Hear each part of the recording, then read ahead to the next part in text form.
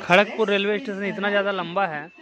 अगर आप किसी से पूछेंगे कि कौन सा ट्रेन कितना बजे आ रहा है तो सभी लोग यही कहेंगे कि अनाउंसमेंट होगा, क्योंकि इसमें हर बार चेंज कर दिया जाता है। एक फिक्स नहीं है कि कौन सा ट्रेन किस पे आएगा। और इसीलिए आपको अनाउंसमेंट ही सुनना पड़ेगा। अनाउंसमेंट आप सुनेंगे तो ही आपको सही पता चलेगा कि कौन सा ट्रेन किस पे आ रहा है।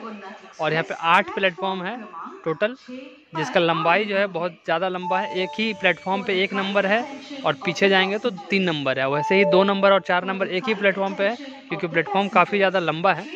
तो वो आप देख लीजिए। और बाकी भी मैं आपका पूरा फुल वीडियो दिखा देता हूँ तो आप वीडियो पे बने रहें।